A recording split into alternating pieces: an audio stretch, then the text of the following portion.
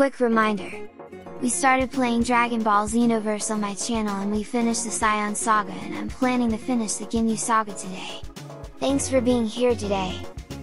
The first thing I did was to talk to Tien and become his apprentice. You can become an apprentice for many in-game characters in Toki Toki World.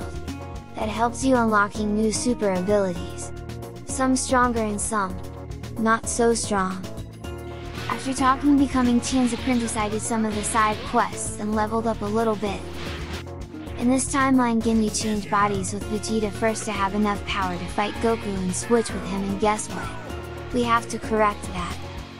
Our first step is to fight Ginyu to an extent or completely beat Recoome. I just finished this part with beating up Recoome.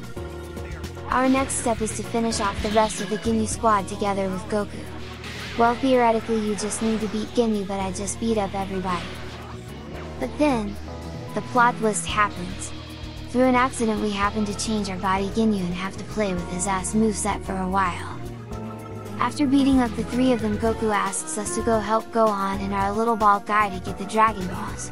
But we get ambushed and our task now is to defeat 20 fucking enemies. After getting the Dragon Balls we fight Ginyu one last time to finally correct the timeline.